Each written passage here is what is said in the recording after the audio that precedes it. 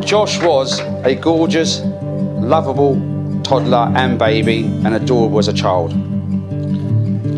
I always say you can judge a person from the company they keep. And having recently spent time with Josh and his friends, this is definitely the case as they are a great bunch of guys. But this is even more true when I see the woman Josh has chosen to marry. If there's one person in the entire world that I would pick for him, it would be you and only you, Emma. To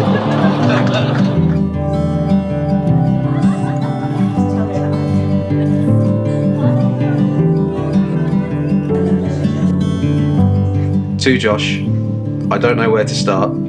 You have supported me through thick and thin over the last five years. You've taught me what true love is and shown me kindness that no one else has shown me. You're the man of my dreams, and I can't wait to be your wife. Lots of love, Emma.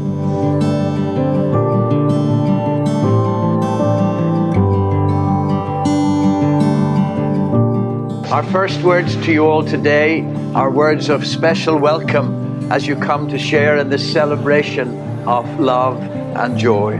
You are the people who Emma and Josh want to have around them on this special day in their lives. This is such a happy day.